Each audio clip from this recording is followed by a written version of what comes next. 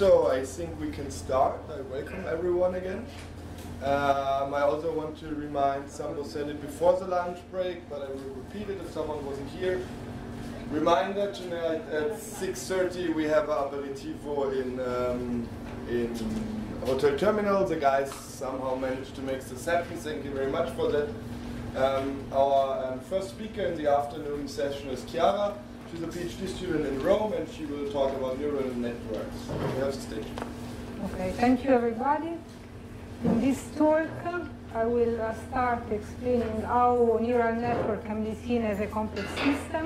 Then I will present you key model of retrieval and learning that are the Hopfield model and the Boltzmann machine. And I will explain some new results. So what are neural networks? Neural networks are essentially graphs so a collection of nodes and arc.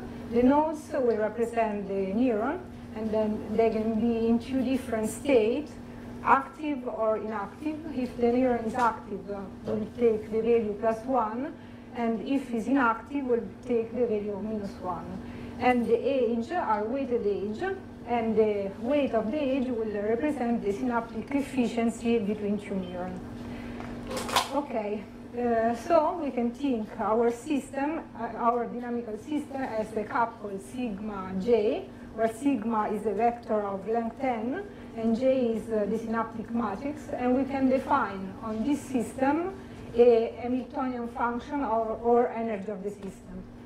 The two variables that describe the system are uh, j and sigma, and they have two different time scales. So the j are a slow variable, and we can imagine it as a rearrangement of the landscape, while the sigma are very fast, and we can think uh, the evolution of the sigma as a motion on the landscape.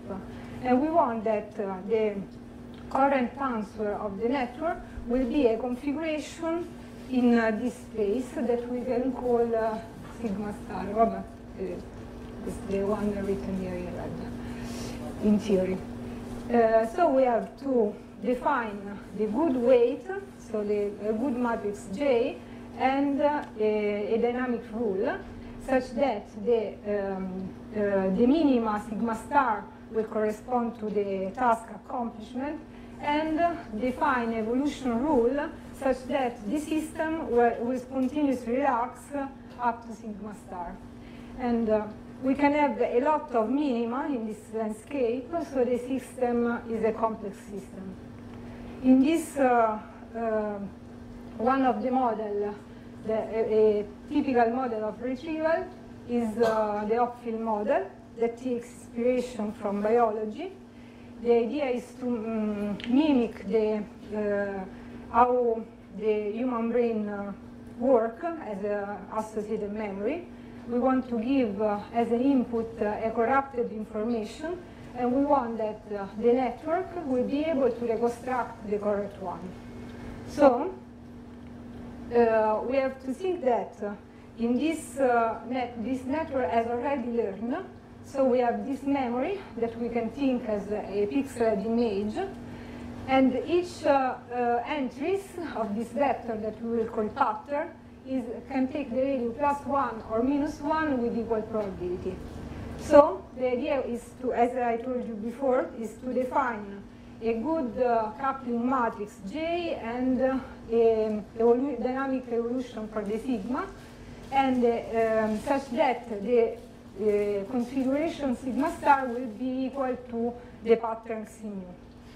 And uh, this is a good receipt, the learning rule. This takes inspiration from biology and we are um, saying that the matrix J is essentially the scalar product between the pattern. And the evolution of uh,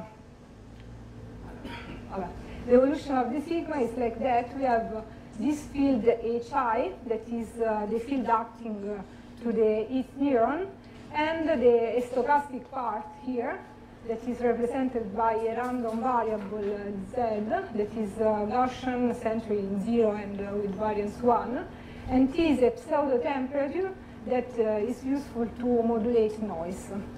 And it can be proved that this type of network will converge to an equilibrium measure, that is the uh, Boltzmann-Gibbs measure, with the Hamiltonian of the system in that form, that we can rearrange for, with some algebra in terms of uh, important parameter of the system that is called the matrix uh, magnetization, that is essentially the overlap between the uh, pattern and the neural configuration.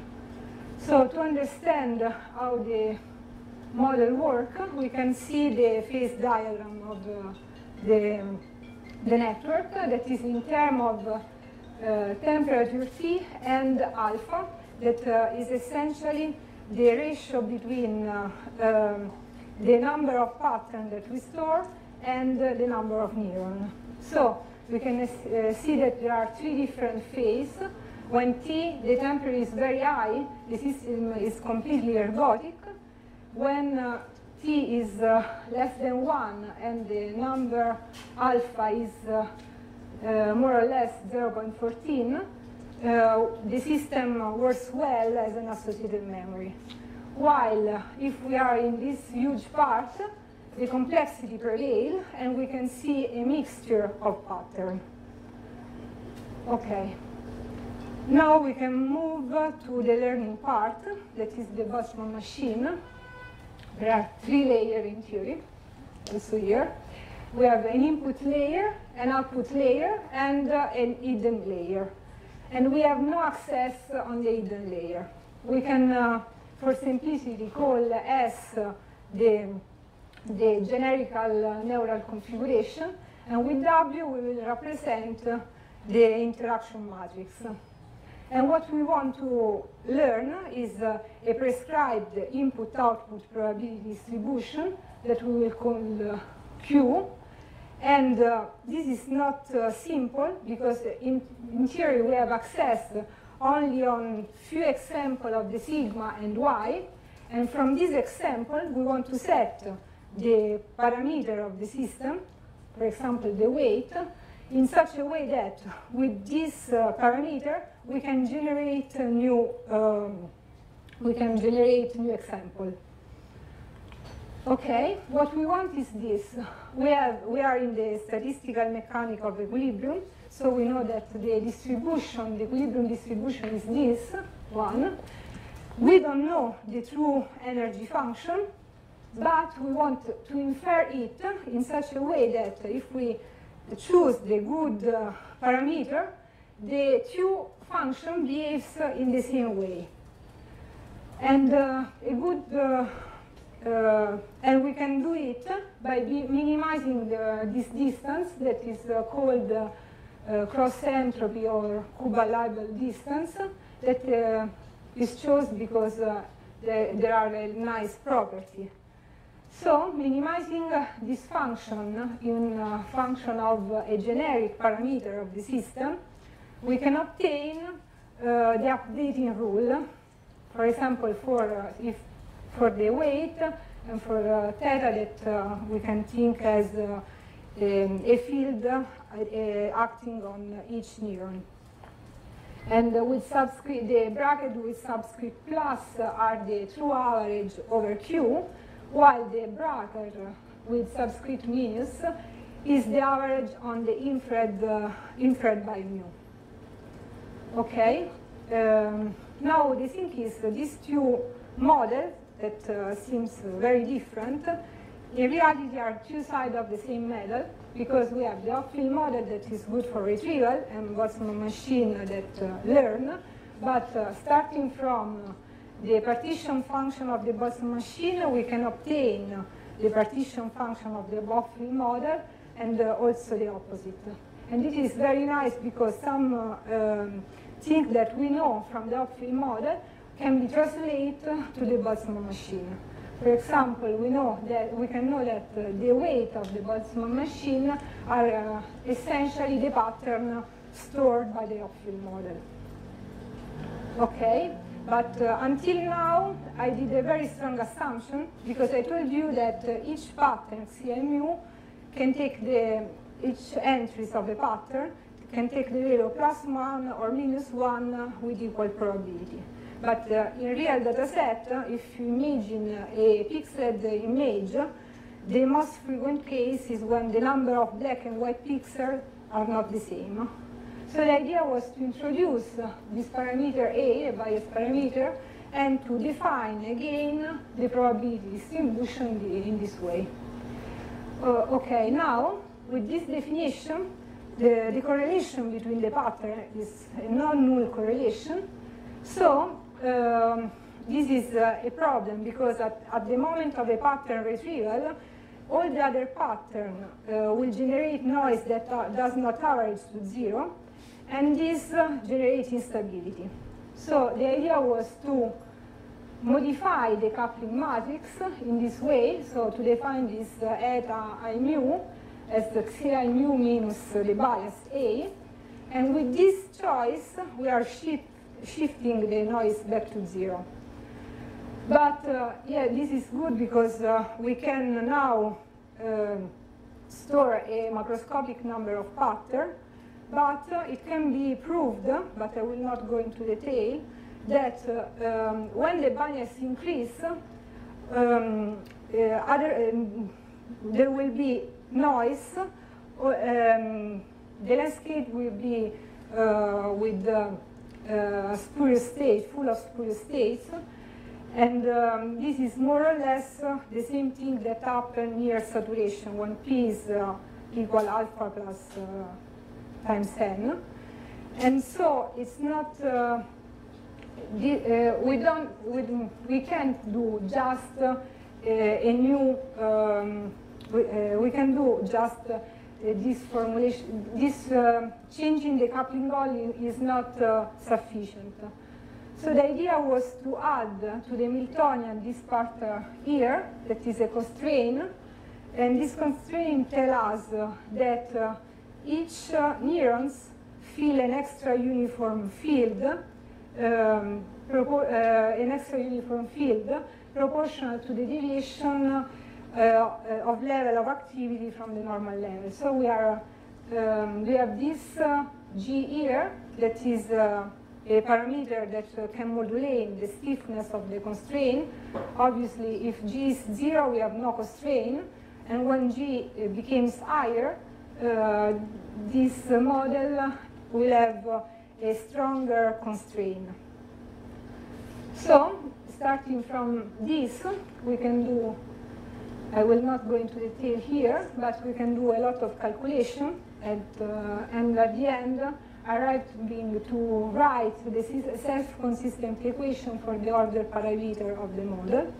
And uh, solving this equation numerically, obviously, we can arrive to uh, a new phase portrait uh, of the system.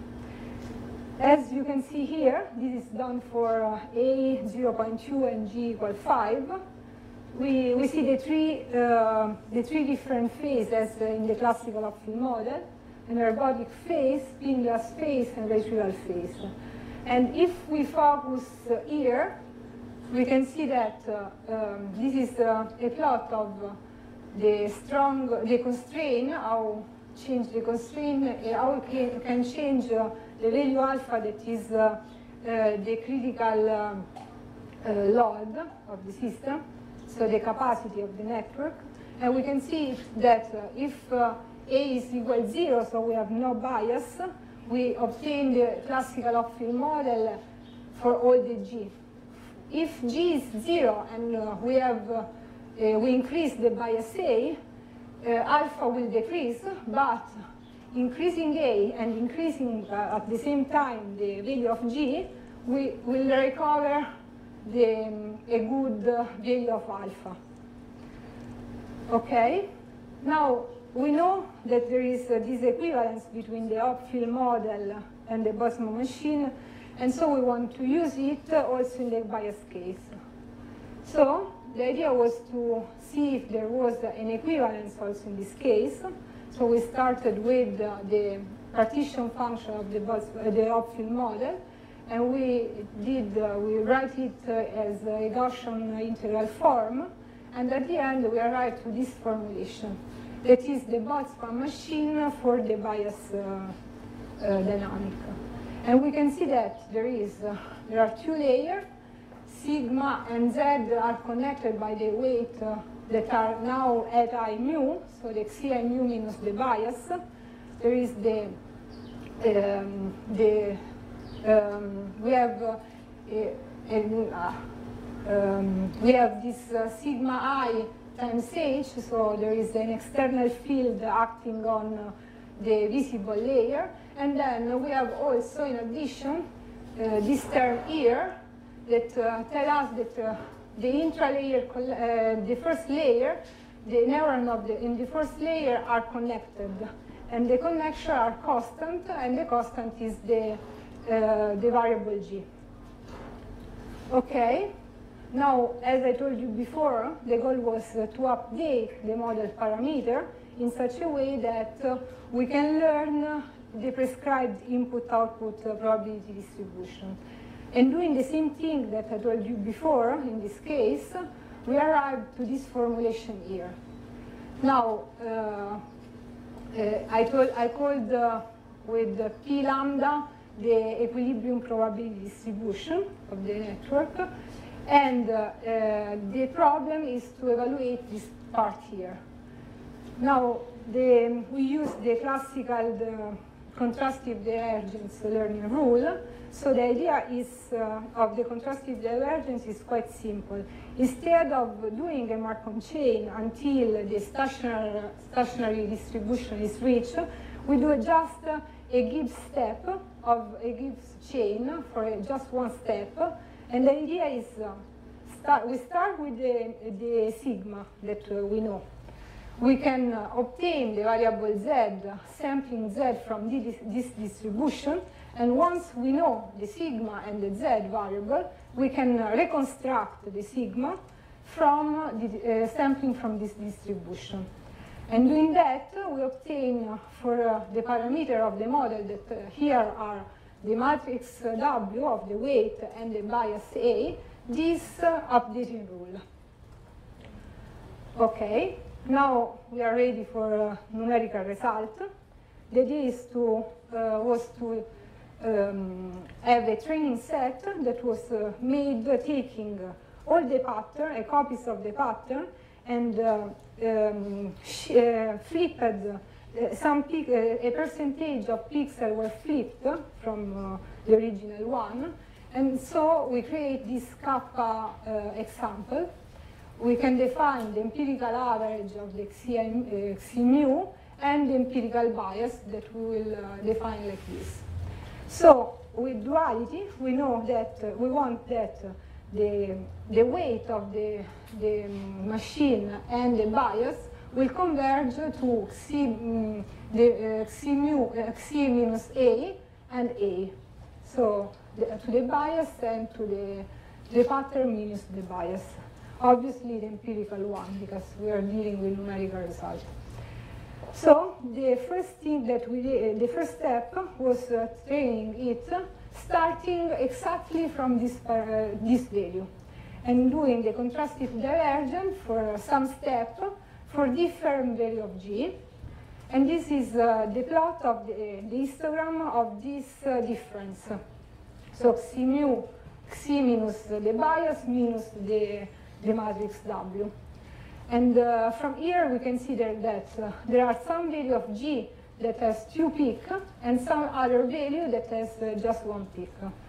And uh, uh, since we want not to move, because we started here, um, we want to exclude from the G value the one with two peak or the one with a very big variance. So the idea, uh, okay, I have to do a remark. Uh, the value of the bias is learned in two different, uh, we can learn it in two ways. Intrinsically by the, way, uh, by the matrix W, but also as an ex the external field H acting uh, on the visible layer.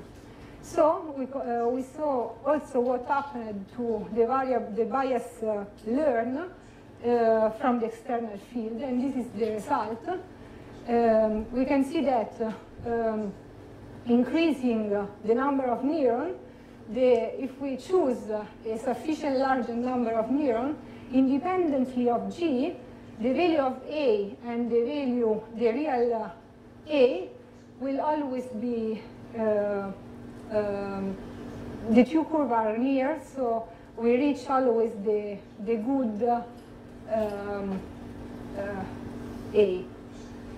So we can uh, just focus on the uh, weight, uh, the, the bias learned by the weight. And uh, the idea was to fix uh, what was uh, the good interval of G, the, the good interval of G, such that the model can work well. So here we can, this is the formula, but in reality we take uh, from the distribution that we have before. Uh, we want to exclude the one with two peaks. We want uh, a monomodal distribution that is that has the smallest, smaller variance we possible and the maximum skewness. The skewness uh, is important. We choose it as uh, the um, as uh, the um, as the optimal G because uh, in, with this skewness, uh, we, because we don't want uh, a distribution that is, uh, uh, okay, is a, a, symmetric distribution we want. And if we see this plot, I don't know if you see the color, but uh, at the end we have that for, this is the same plot for this different value of alpha, and this is uh, the distribution related to the optimal G. And as you can see, with op the optimal G um, returns uh, a good type of distribution, but uh, as the alpha increased as expected, the distribution became less and less peaked. And uh, now we did a, a, step forward because uh, okay, we know now that if we start from the exactly good point, we remain there.